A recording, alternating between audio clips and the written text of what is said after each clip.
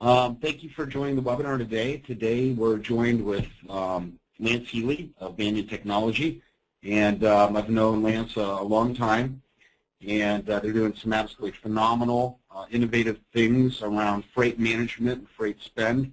And uh, any of you on the webinar today that um, have any level whatsoever of, of freight, there's no doubt in my mind they're going to be able to save you some money.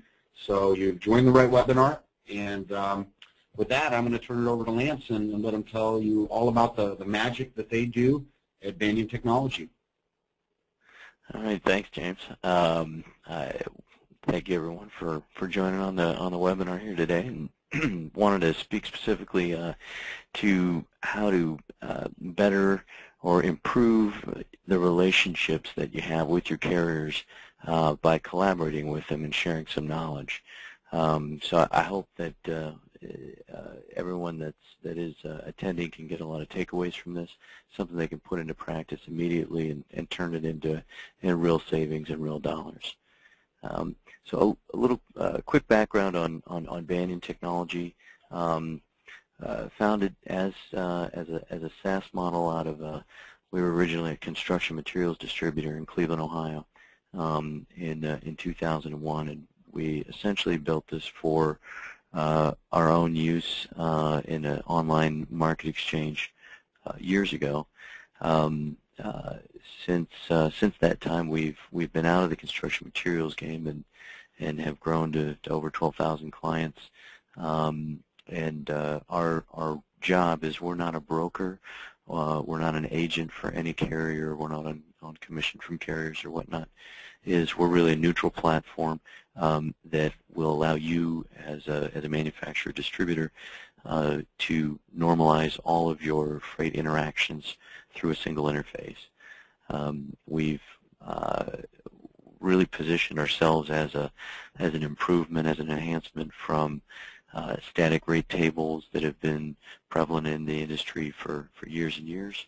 And uh, so far, we've connected with over 7,200 uh, different carriers in our in our lifetime. So, um, but we do currently serve a market of um, uh, of our customers that involves uh, everyone from freight audit payment companies to manufacturers, distributors, third-party logistics firms, um, classic freight brokers, and all kinds of other folks in between. So that's who we are. Uh, just a, by way of introduction, I, I wanted to uh, give a, a, a, brief background of uh, kind of the history of LTL, um, uh, specifically focused on less than truckload freight. Um, it seems to be a lot of mystery wrapped around that. If if it's not uh, your area of expertise, and it probably shouldn't be, um, it's a great way to just kind of understand where we came from. Uh, and then talk about a lot of common practices, common assumptions that we see from uh, from manufacturers, distributors um, that really are just trying to get their products from point A to point B.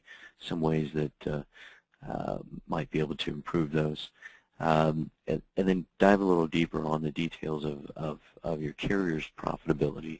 Um, because if you can understand more effectively how they make money, then you can work with them more effectively on, on how to reduce your expense uh, to them. Um, and then finally, really saying if you can capture a lot of data um, uh, through uh, you know, manually or through the use of technology, um, how you can leverage that business intelligence and, and really dramatically reduce your freight expense. So um, before we jump into that, this is just uh, an interesting little um, segment in terms of seeing some of the freight costs um, uh, being driven up uh, over recent years, um, and just a, a, dramatic display of how much of the freight costs have gone up um, at four dollars a gallon back to where they were in '99 of under a dollar a gallon, and how much that impacts uh, uh, the, the carrier's operations. So uh, freight fuel surcharges right now are, are hovering somewhere around 30% um, of the uh, of the of the total charge, um, which is uh, dramatically uh, it makes it makes a huge impact if if a, a company is not aware of of what those are and how that's affected. So, um, quick history of of, uh, of of some of the LTL. I call it the history of averages. But um, uh, back before 1980, freight was regulated uh, by the government by some tariff bureaus, and each one of those tariff bureaus basically maintained um, what those freight were uh, freight rates were uh, from point to point in New England and uh, the South and the Rocky Mountains. Um, and uh, up until, um, so a lot of the old timers will say, well, freight is freight. Doesn't matter which carrier you use, they're all about the same. Um, that was true. Um, and in 1980, when freight was deregulated, um, it was almost deregulated. Um, they essentially said, um, okay, carriers can charge different amounts, but we're still going to need uh, the carriers to submit their tariffs to the Surface Transportation Board, um, and uh, and and they need uh, to work on their contracts based on those tariffs. Um, and, and, what happened with that is uh, when they first opened it up, there weren't really a lot of swings or wasn't a lot of movement in the rates between carriers because um, they all had their terminals in about the same place. They were all used to charging something. So there was very little um, variances between the carriers. Um, as time went on, uh, those variances started increasing. Uh, uh, so instead of a Atlanta to Memphis lane, um, all of a sudden that, that had some huge swings depending on where the carrier's terminals were, where their backhauls were, where their anchor clients were. Um, and at that time in 1980, the internet wasn't uh, wasn't around yet, so there wasn't really an effective way to capture rates um, from each one of the carriers, short of calling each one of them up. What we did, uh, Southern Motor Carriers, one of the rate bureaus, had a, a very brilliant idea, and they essentially recreated regulation, and they used a um, a blended average rates into um, into a, what, what's now known as a, a czar tariff. Um, and uh, it served the the shippers, the manufacturers and distributors very effectively so they could see, I know what my rates are, I now have a, a common tariff to use that all the carriers have to abide by. So, but it is an average tariff. So it took the the best and the worst of those carriers and then had a blended average. And as you know, an average is, is not the low, it's not the high, it's right in the middle. Um, so the, Surface Transportation Board really took a look at this and and you know, kind of took it to task. It's somewhat like price fixing, et cetera. And in a uh, uh, in a uh, you know a testimonial, whatever, uh, uh, SMC3 claimed that uh, you know 86% of the time their their rates are lower or among at least the top three lowest uh, shipments. Um, so that may be satisfying to some to know that 86% of the time there could be within the top third cheapest carrier. What it really means is that 14% of the shipments, you're leaving money on the table by not working directly with the carriers um, and finding the lowest rate every time instead of taking an average. So that's my little soapbox. I'll hop back off of that.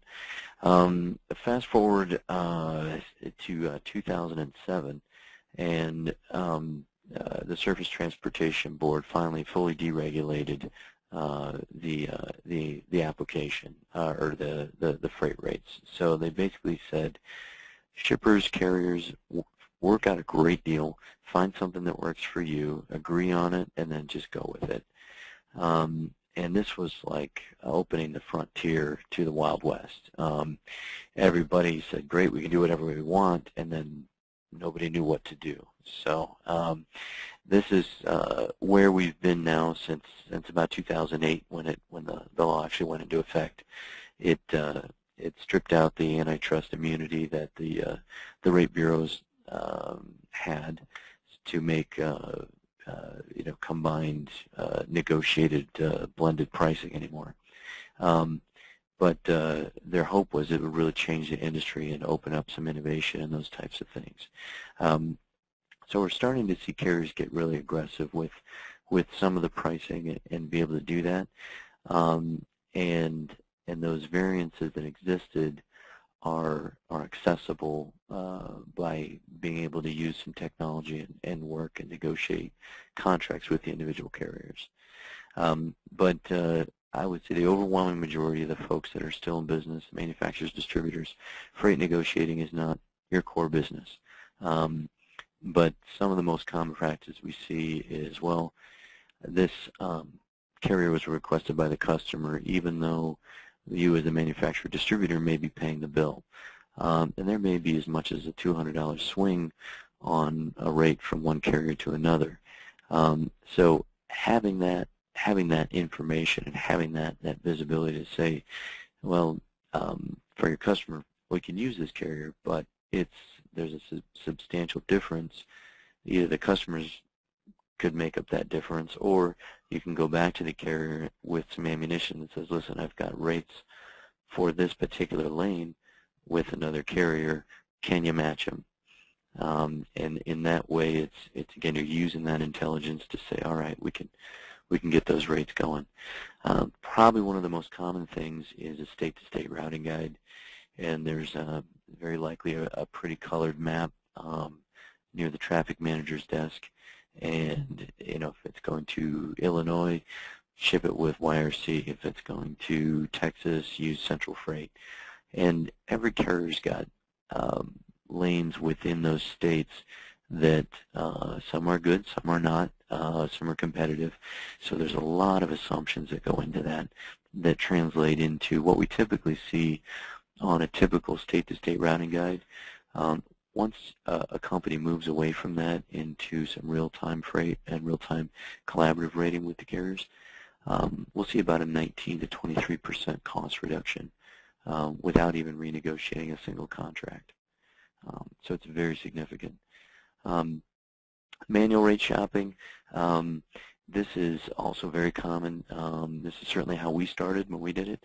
Uh, we had six different tabs open, and I, we rekeyed the same information six different times, wrote it down on a notepad, um, and then selected our shipment, and then took all that intelligence and threw it away at the end of the day, you know, on a post-it note or whatnot. Um, it's very time consuming, it's redundant, and if you get into the the weeds on a on a busy day, there's a real good chance that uh, it's um, you're not going to have time, somebody's not going to have time to truly rate every single shipment on every single carrier. Um, it just doesn't scale well. Um, the uh, the I just I just know which carrier to use or what we've always done approach. Um, I just I won't won't even go into detail on that one. It just uh, it needs uh, that it's probably if that's if you hear that in your operations, then that's a that's a good flare gun to to say we need to take a look at this because um, the savings can be very very significant. Um, the other sneaky thing that, uh, the carriers do is, you know, they, they're using these discount percentages, and so a lot of folks will route their freight by, well, this carrier has the biggest discount, so it it must be the cheapest freight rate because we're all on a, a ZAR 2001 with the FAK of 70.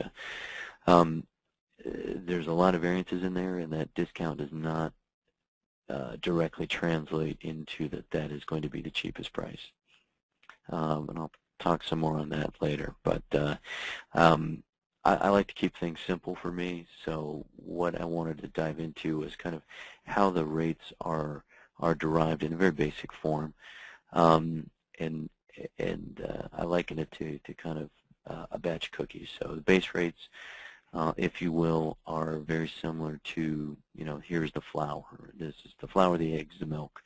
Um, you can make any kind of cookie with it, but that's the basic ingredients.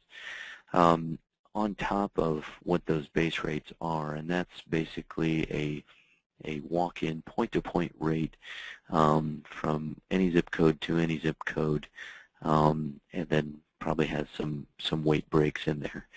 And you can have all of your carriers on the exact same base rates and come out with wildly different rates um, because the rules tariff, um, which is uh, incorporated by reference on a uh, if um, if you get a, uh, a tariff sheet from a customer, um, that that uh, that tariff sheet or that contract is going to have um, just a little one liner or something that says incorporated by reference is this rules tariff, and that this rules tariff is the 250 plus pages of documents that takes the the base rates and then manipulates them into something that's going to be closer to their network operations. Um, and basically it's going to say here's what that cookie is going to look like or taste like. Um, the discount rate percentage is um, when you really drill into the details, it's really meaningless. Uh, it's a marketing number to make you think you're getting a bigger cookie. Um, uh, you get 50% uh, discount uh, off of what? Um, you know, it, it's it's so manipulated that um, it, it really doesn't hold a lot of value. Um, then the accessorial charges are added at the end after that. So, uh, and all of these, of course, are negotiable, uh, negotiable as well. Um, lift gates call for appointments, um, uh, late pickups, any of those types of things that you you might need or your customers might need. Um, you can work out, and negotiate with uh, those with with a carrier for reduced costs or waiving those accessorials altogether. Um, so that a lot of that's going to go down into how much, how much, how often do you need it, and what kind of a, a customer are you for that carrier that they want to consider it. So, um, uh, in, it, being a good customer and an efficient customer doesn't always mean you have a, a, a ton of volume. So um, good things to understand is that you know the carriers each they all have their own networks. They're constantly changing. Um, uh, one carrier may love to take four pallet freight, you know, four separate pallets. Other carrier says, ugh, I really don't like that. My networks are really set up to handle single pallets. Um, and carriers have different terminals, different locations. They have they have clients um, where they need a lot of equipment in Austin, Texas, and so I will give all kinds of discounted rates for any freight going into Austin, and um, uh, but my rates are a little bit higher going out of Austin because I've already filled all the equipment. So they use their pricing uh, to really optimize the use of their equipment and their networks. And when you consider that, um, and, and you take a look at here is um, I want to make the, the best use of my equipment and you consider the profitability on a pickup and a delivery. So um, almost 38% uh, of a carrier's cost is um, is on the pickup and the delivery cycle. So if they can, when they back up to a dock, that's 19% of their cost, you know, immediately. So if they can if they can get more freight or what they call low density, they can get more um, more freight while they're back up to that cost, their margins are going up. Um, and uh, and then are more apt to say, hey, you know what, we can work with you because it's not a a one a one-off shipment.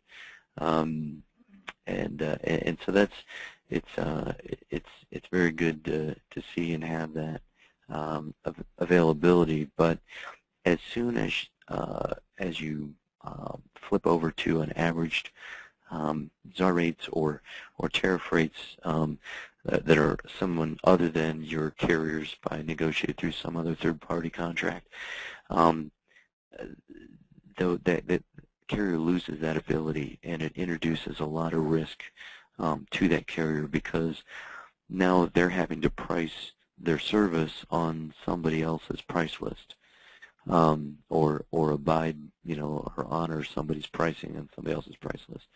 So they have no visibility into am I really going to make profit on this lane um, or not, but I have to agree to somebody else's pricing. So uh, the the more you can mitigate their risk, the less they need to pad on top of that um, uh, pricing to protect their own their own yield and their own profitability. So that's why anytime you can go direct uh, real time to the carrier specific pricing and their current specific pricing, um, the carrier is going to be a lot more apt to do more creative things with you on, on getting aggressive on pricing. Um, so um, I'll uh, throw that one out there.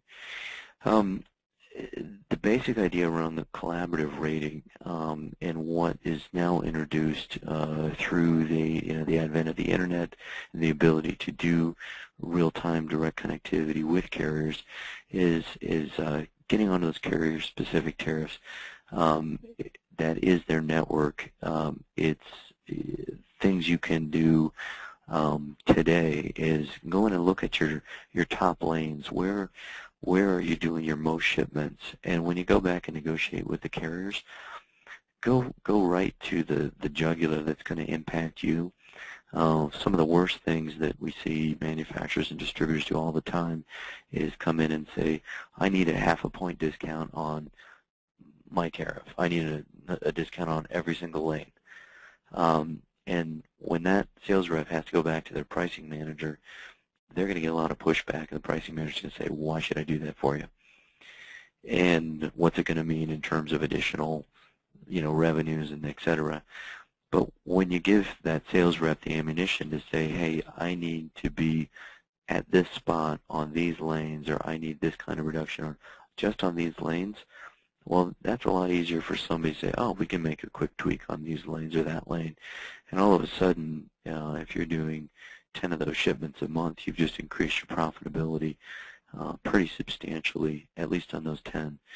Um, and uh, and then and then communicate with your carriers. Start talking with them, engage with them, and say, you know, what can we do to be a better customer, to be more efficient, um, uh, and um, you'd be surprised if, if you asked and you have a good rep. Um, there's there's probably some things you can do for that. Um, so uh, hopefully they'll be able to share that with you. Now the advanced side on this is uh, is really getting into more into, into collaborative rating with technology. Now this what this does is um, uh, it allows you to connect direct real time with the carriers on every single shipment pull the data in and be able to present all of the, the rates, the transit times, the quote IDs, and allow you to select the right carrier at that moment. Um, it happens instantly in seconds. You can see the variables um, on every carrier's price on every lane, so you know you're picking the least cost or the fastest transit time, whichever is more important on a on an order by order basis. Um, but what you're able also to do with that uh, when you have some automation with it is retain all that data into a uh, into a big database and and be able to run very simple uh, reports that allow you to give those feedback loops um, on steroids back to the carriers. Um, and uh, I've got an example of one of those. I'll show you in a second here. Um, but the uh, um, uh, when you're asking for those specific adjustments by lane, you have quantifiable data to say um, for XYZ carrier, here's the lanes you missed last month, here's what you missed it by. And then give them the option to go through and say, wow, we'd really love to get that business going to Austin. I'm going to lower my rates proactively for you anytime you're shipping to uh, uh, to Austin, Texas. Um, and the beauty of it is with the real-time collaboration, there are no tables to update. There's no um, there's no uh, um, IT work involved. As soon as the carrier publishes that rate, it's immediately going to reflect the next time that uh, that you uh, that lane comes up or that shipment comes up. Um, some of the things that that, that we see uh, carriers um, they really they've put out a lot of technology to try to be more efficient in their own operations and using a, a, a real-time direct uh, TMS transportation ma transportation management system can allow you to grab an additional 2% off of a net price if you're using transmitting the information electronically. That means no one at the carrier side has to retype that. It means you're using their auto dispatch capabilities and and helping that carrier be a lot more efficient. And uh, you, know, you should definitely uh, share in the benefits for that because if the carriers are offering 2% um, off as a discount if you use their technology, um, I guarantee you they're putting a lot more than that in their pocket. So in terms of their, their cost of sale. Um, so uh, the other thing that we've seen is, is adjustments. Um, and um, we have folks that will use the technology and essentially go through this process and share these feedback loops with their carriers every two weeks or once a month. And um, they're essentially renegotiating their contracts every two weeks um, or every month rather than doing it once a year. Um, once a year is is uh, um, I call it freight by hand grenade. Um, it's uh, you as a manufacturer distributor guessing what you think your freight spend is going to be and where it's going to go, what your sales are going to be for the year ahead. And then at the same time, you have the carrier that has no idea what their actual network is going to look like, where their assets are going to be best utilized, and their lane densities, where they're going to be competitive. So they're also guessing. Um, so there's just tons of assumptions and a lot of cake and fat on the rates um, to try to protect the carriers um, until they you know, can kind of see what's really going on.